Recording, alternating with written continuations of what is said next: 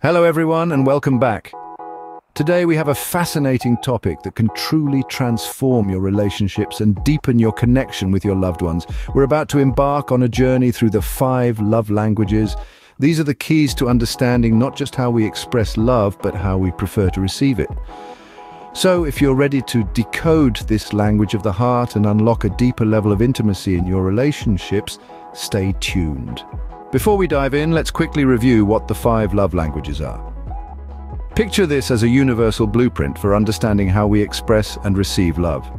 These love languages, a concept crafted by Dr. Gary Chapman, give us a lens to better comprehend and navigate our relationships. They are simple yet profound words of affirmation, acts of service, receiving gifts, quality time, and physical touch.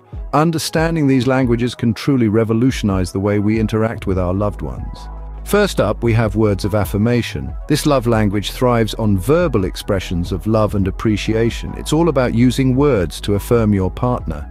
You value compliments, frequent I love yous and hearing why you're appreciated. It's not about grand declarations of love, but rather the continual positive reinforcement that builds you up and makes you feel truly cherished. Next, let's talk about acts of service. If this is your primary love language, actions truly speak louder than words. You appreciate when someone takes the time to do thoughtful things for you, whether it's making dinner, doing the laundry, or fixing something that's broken. These acts of service are your love currency, and you feel most loved when your partner goes out of their way to make your life easier. Moving on to the third love language, receiving gifts. This love language isn't about materialism, but the thought, effort, and love behind each gift. You feel loved when your partner surprises you with thoughtful gifts that show they know you and understand what you value. It's about the sentiment behind the gift, not the price tag. The fourth love language is quality time. This language is all about giving your undivided attention to your partner. Distractions, postponed dates, or the failure to listen can be especially hurtful.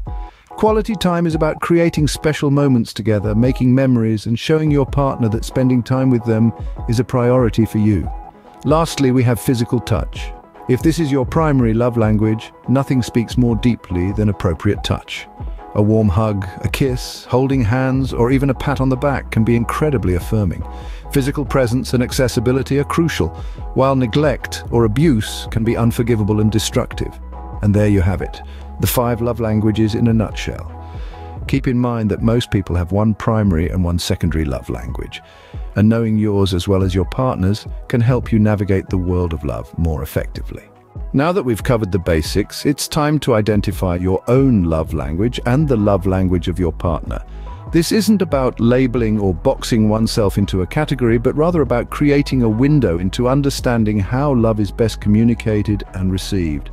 You might be wondering, how do I go about identifying my love language? Well, start by reflecting on what makes you feel most loved and appreciated. Is it a heartfelt compliment, a thoughtful gift, a helping hand, quality time spent together, or a warm hug? Listen to your heart.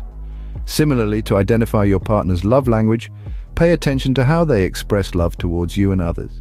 What do they complain about most often? What do they request most frequently? These clues can help reveal their primary love language. Understanding these preferences can be a game changer in improving communication and connection in your relationships. To wrap up, let's discuss some practical tips for applying the love languages in your relationships. Start by identifying your own love language and then strive to understand the love languages of those around you. Show love in the way they best receive it, not necessarily the way you do. Practice listening, patience and kindness. Remember, love languages aren't just about romantic relationships. They're applicable in friendships and family dynamics too. Whether you're in a romantic relationship, a friendship, or with family members, these tips can help you express love more effectively and feel more loved in return. Thank you so much for joining us today on We've journeyed through the fascinating realm of the five love languages, illuminating the path to deeper relationships. Remember, understanding these languages is just the beginning. The real magic happens when you apply this knowledge in your everyday interactions. If you found this video helpful, please give it a thumbs up and don't forget to subscribe. We've got more relationship insights coming your way. Until next time, keep spreading love and understanding. Bye for now.